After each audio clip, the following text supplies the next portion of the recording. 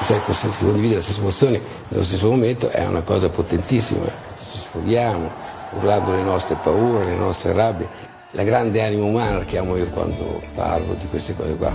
Siamo tutti, abbiamo tutte le nostre insicurezze, incertezze, dubbi, delusioni, amarezze, sofferenze, capisci? Perché siamo persone simili. Altra cosa, quando ci incontriamo ci diciamo sempre come va, tutto bene, perché come fai a dire a uno come stai veramente? Cioè, anzi, non lo dici proprio, capito? Per cui ecco, da lì viene quella canzone, io sto male, famoso io non niente. Era una reazione a questa faccenda qua, dico, oh, si dice sempre, capito, tutte le volte che si incontra, che si sta bene. Eh, e invece no, io oggi te lo voglio, te lo, te lo voglio urlare, io sto male. Capisci? Ecco.